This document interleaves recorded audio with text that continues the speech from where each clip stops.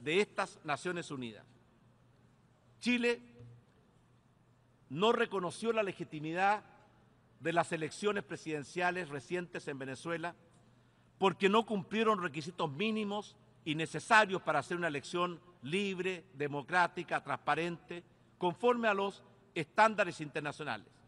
Y por tanto no reconocerá la legitimidad del nuevo gobierno que surge a partir de esas elecciones.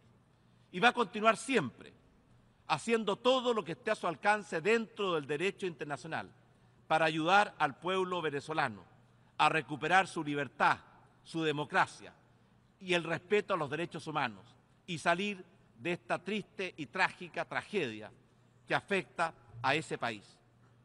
Pero para eso necesitamos el sustento del sistema multilateral y especialmente de la Organización de Naciones Unidas. Creemos necesario que esta organización, a través del Consejo de Seguridad, aborde las crisis democráticas y humanitarias que afectan a estos países. Lo decía antes, en los tiempos modernos la libertad, la democracia y el respeto a los derechos humanos no reconocen ni debieran reconocer fronteras. Por eso Chile utilizará todos los mecanismos que están permitidos por el derecho internacional para colaborar con toda su fuerza y compromiso a la recuperación de la libertad, la democracia y los derechos humanos en estos países.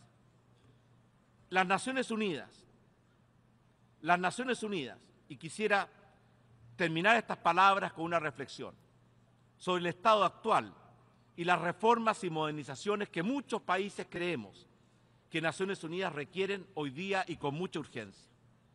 Las Naciones Unidas, que ha contribuido en innumerables ocasiones a la mantención de la paz y la seguridad internacional, como una piedra angular del multilateralismo, hoy ve esta competencia muy restringida y muy limitada.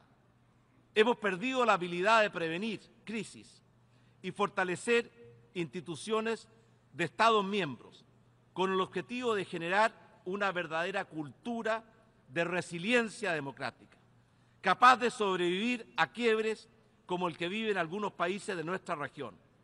Y por eso creemos que llegó el tiempo que esta Organización de Naciones Unidas se modernice, al igual como lo han planteado en tantas ocasiones tanto de sus países miembros, para que pueda actuar de forma más rápida y más eficiente frente a los desafíos de estos tiempos modernos.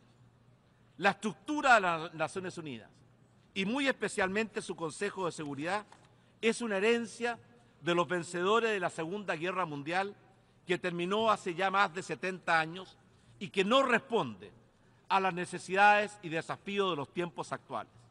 De hecho, todos sabemos que algunos de los miembros permanentes del Consejo de Seguridad ejercen o amenazan con ejercer su derecho a veto más basados en sus propios intereses o los de sus aliados que en su deber de preservar la paz y la seguridad en todos los rincones de nuestro planeta. Y esta conducta ha restado y está restando eficacia a un órgano fundamental de las Naciones Unidas y que concentra no solamente un inmenso poder, sino que una tremenda responsabilidad, que es preservar la paz y la seguridad en nuestro planeta. Y además, la composición actual del Consejo de Seguridad no refleja el mundo actual y no entrega una adecuada representatividad a continentes enteros, como África o América Latina, o a países como Alemania, India o Japón. Por eso, quiero terminar estas palabras resaltando la importancia de que el desarrollo no solamente debe ser sostenible, también la paz debe ser sostenible. Y es precisamente en estos momentos cuando los valores que compartimos como comunidad internacional deben guiar e iluminar nuestra actuación y nuestro camino. Los pueblos deben estar unidos no solamente por el libre comercio, es la preservación de la paz, la seguridad y el respeto a valores fundamentales lo que llevó a crear esta organización.